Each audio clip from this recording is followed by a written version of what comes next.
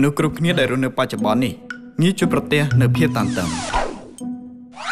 ភាពតានតឹងសំដៅលើភាពតប់ប្រមល់ទាំងផ្លូវចិត្តនិងផ្លូវកាយដែលបណ្ដាលមកពីមជ្ឈដ្ឋានជំវិញនៅពេលដែលអ្នកស្ថិតនៅក្នុងភាពតានតឹងជាយូរពេលនោះអាចបណ្ដាលឲ្យមានជំងឺបេះដូងដំបៅក្រពះជំងឺលើសឈាមហើយក៏អាចបង្កជាជំងឺផ្លូវចិត្តធ្ងន់ធ្ងរដូចជាការកេងមិនលក់និងជំងឺធ្លាក់ទឹកចិត្តជាដើមអាចនិយាយបានថា វាជាសត្រូវនៃសុខភាព ទូយ៉ាងណាវិជ្ជបណ្ឌិត Hans Selye បានលើកឡើងជាលើកដំបូងពីបញ្ហានៃភាពតានតឹងក៏បានផ្ដល់យោបល់ដូចតទៅហឹមភាពតានតឹងមិនមែនតែងតែជារឿងអាក្រក់ទេកម្រិតមធ្យមនៃភាពតានតឹងអាចក្លាយជាកត្តាដ៏ល្អដែលជំរុញប្រព័ន្ធភាពស៊ាំរបស់រាងកាយឲ្យរឹងមាំហើយបង្កើនចិត្តឆន្ទៈនិងប្រសិទ្ធភាពនៃការងារបានអាចនិយាយបានថាកម្រិតមធ្យមនៃភាពតានតឹង អាចក្លាយជាការជំរុញដ៏ល្អនិងបំពេញតួនាទីយ៉ាងមានអត្ថប្រយោជន៍នៅក្នុងរាងកាយនៅក្នុងពិភពលោកដូរមមាញឹក24ម៉ោងតើត្រូវធ្វើដូចម្តេចដើម្បីផ្លាស់ប្ដូរភាពតានតឹង ទៅជាការជំរុញដ៏ល្អបាននេះគឺជារឿងរបស់បុគ្គលិកការិយាល័យម្នាក់ដែលបានបង្វែរភាពតានតឹង ទៅជាការជំរុញដ៏ល្អ ខ្ញុំជាបុគ្គលិកការិយាល័យដែលធ្វើការនៅជាន់ខាងលើបំផុតនៃអគារប៉ុន្តែនៅព្រឹកមួយ ពេលខ្ញុំទៅធ្វើការប្រអប់ចដាយន្តដែលត្រូវឡើងទៅការិយាល័យនោះបានខូច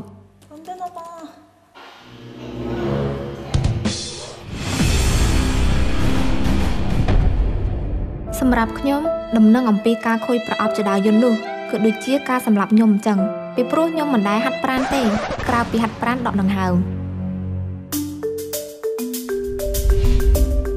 ការឡើងចុះចណ្ដើរជើង ទៅមកជាន់ទី12ជារៀងរាល់ថ្ងៃ គឺពិតជាតានតឹងខ្លាំងណាស់ទោះជាយ៉ាងណាអឺខ្ញុំបានទ្រាំបន្តឡើងចណ្ដើរនោះ ដោយគិតថាល្អដែរតើដែលអាចហាត់ប្រាណបាន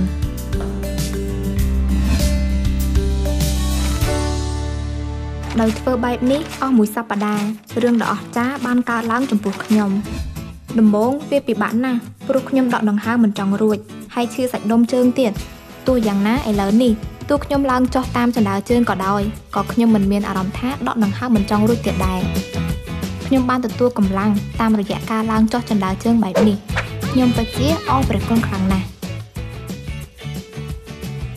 រឿងមួយទៀតដែលខ្ញុំត្រូវអរព្រះគុណនោះគឺខ្ញុំនិងមិត្តរួមការងារជាច្រើនកាន់តែមានភាពជិតស្និទ្ធគ្នា ក្នុងពេលដែលពួកយើងដើរឡើងចណ្ដើរជើងនោះជាមួយគ្នា